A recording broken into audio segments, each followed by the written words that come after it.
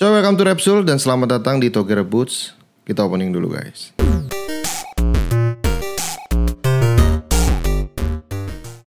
Assalamualaikum warahmatullahi wabarakatuh. Punten, punten, selamat datang di Tokoe Rebus. Tongkrongan game retro bersama Republik Sultan ya.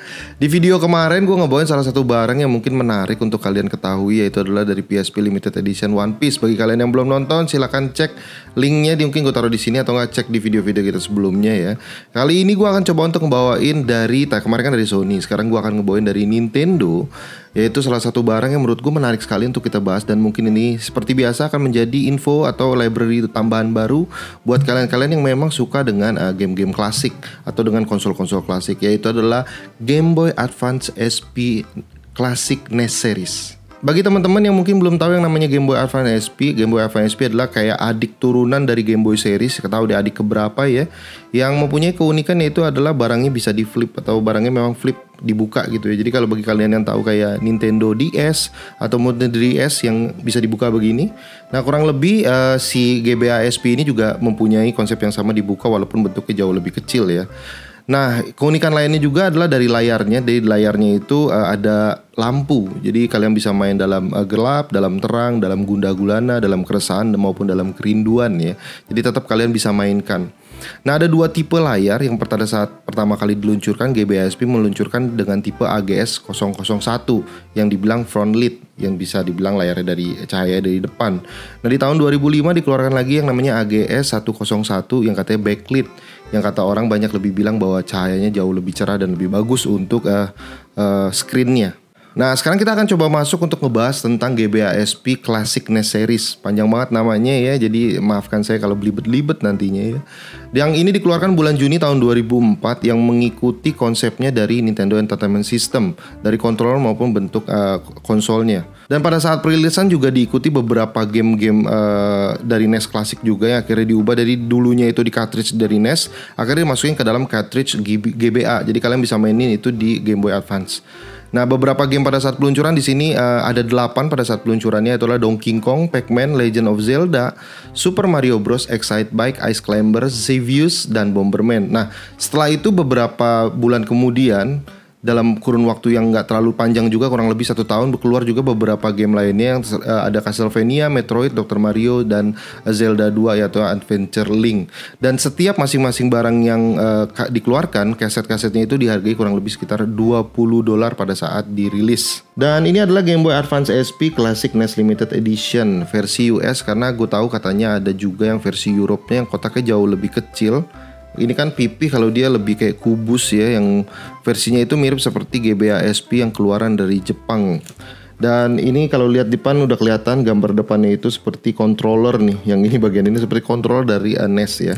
Dan kalau lihat di bagian belakangnya sendiri ya, ini di bagian belakangnya ada beberapa gambar yang menandakan bahwa ini dikeluarkan juga beberapa game ini di uh, apa namanya di uh, cartridge dari GBA SP ini ya. Di sini ada Legend of Zelda, Donkey Kong, Excite Bike, Super Mario Bros, Bomberman, Ice Climber dan yang lain-lainnya. Nah, di bagian belakang ini kita bisa lihat dibilang di set includes Classic NES Limited Edition Game Boy Advance SP AGS 001.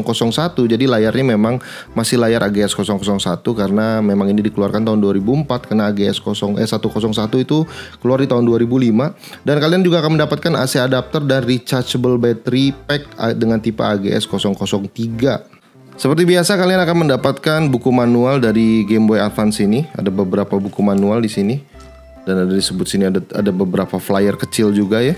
Dan kalian juga akan mendapatkan adaptor yang bentuknya seperti ini unik banget tuh, tuh ya. Bisa dikluk, kluk, ya. Dan di sini kalau bisa kita lihat berapakah voltnya. Kalau di sini dilihatnya voltnya itu adalah 100 volt. Maka bisa dikatakan bahwa 100 volt ini tidak bisa lo colokin langsung ke listrik Indonesia karena bisa langsung meledus ya adaptornya. Jadi harus punya gunain step down atau lo cari uh, khusus buat Game Boy Advance SP tapi yang buat Indonesia. Dan yang paling penting adalah konsolnya guys. Ya jadi ini kalau lo lihat di bagian depannya unik banget ya. Di bagian depan ini seperti ada tanda-tanda strip-strip yang memang uh, ciri khas dari Nintendo Entertainment System. Kalau lo lihat bagian konsol atasnya itu memang punya strip-strip seperti ini dan di sini ada tulisan Nintendo-nya ya. Dan kalau lo buka, nah kita bisa lihat di bagian kontrolernya ini memang mirip dengan controller dari NES ya. Jadi uh, konsep konsepnya. Di sini ada tombol buttonnya, di sini ada keypad dan di bagian kanan bawahnya ini ada uh, select dan sama seperti Game Boy SP biasa, cuma dengan konsep yang memang controller controllernya ya. Di bagian kiri sini ini ada on off-nya di bagian sebelah sini dan di bagian satunya lagi untuk mengatur volume dan di bagian belakang ini ada buat satu ngecas ya, yang satu lagi ini buat Keyboy uh, Game Boy Link ya. Jadi bagi kalian yang misalkan mainin game-game seperti Pokemon, kalian bisa tuker-tuker uh, monster kalian dengan menggunakan Game Boy Link ini nih. Jadi kalau misalkan lo tanya apa bang keunikan dari ini jelas keunikannya karena ini mempunyai konsep seperti uh, Nintendo Entertainment System. Bagi kalian yang memang para pencinta Nintendo rasanya unik sekali kalau kalian bisa mengkoleksi ini dengan disatukan bersama dengan uh, NES kalian gitu. Jadi benar-benar NES-nya di sebelahnya dan ini di sebelahnya lagi gitu. Jadi benar-benar konsepnya sama dalam satu paketan gitu. Nah kalau kita ngomongin soal masalah kelangkaan dari handheld ini maupun dari kaset cartridge yang sudah dikeluarkan, gue akan bahas pertama dari cartridge-nya dulu. Cartridge sendiri gue udah cari di beberapa forum di luar negeri termasuk eBay dan forum-forum luar negeri lainnya. Itu variasi banget dari setiap kasetnya. Kalau bisa dilihat loose-nya sendiri bisa dijual kurang lebih sekitar 18 dolaran rata-rata mereka. Sampai range-nya itu sampai yang tertinggi sampai kurang lebih sekitar 100 eh, mungkin sekitar 150 dolar untuk kasetnya dan itu 150 dolar itu uh, seal ya. Jadi memang masih banyak juga beberapa yang memang masih kasetnya seal. Dan itu kurang lebih harganya sekitar hampir 2 jutaan. Tapi very uh, harganya tuh variasi banget variasi banget harganya. Jadi nggak semua harga itu sama karena setiap judul punya kelangkaan masing-masing. Dan setiap judul juga punya keunikan masing-masing. Jadi bisa aja satu judul dengan satu judul yang lainnya itu harganya nggak sama. Untuk uh, handheldnya sendiri untuk soal masalah kelangkaan menurut gue dia berada di mid ya di tengah-tengah. Jadi dibilang sama seperti PSP kemarin dibilang langka banget enggak. Tapi dibilang uh, biasa aja juga enggak. Karena menurut gue ini jadi unik sekali. Dan kalau kalian cari pun dalam kondisi yang full set sendiri pun tidak banyak kayaknya yang menjual. Jadi variasi banget harganya. Variasinya harganya itu dari loose sampai ke full set complete grade S atau masih seal itu bisa dari range 60 dolar sampai ke angka 500 dolar 400 dolaran lebih. Jadi kurang lebih harganya bisa dari 800 ribu yang loose-nya sampai ke full set lengkap itu bisa sampai di harga 5 jutaan. Tapi gue lihat beberapa yang mungkin yang full set complete tapi grade grade A ataupun grade B gue rasa masih ada di angka-angka sekitar 2 juta 2,7 sekitar angka-angka segitu nggak nyampe 3 jutaan atau mungkin nyampe 3 jutaan kurang lebih Nah sebagai penutup gue akan memberikan warning sedikit karena kita tahu bahwa yang namanya Game Boy Advance SP ini memang uh, punya pengganti cell casingnya ya. Jadi case-case seperti ini tuh banyak dijual di pasaran umum ya. Terkhususnya barang-barang dari uh, sana di luar sana.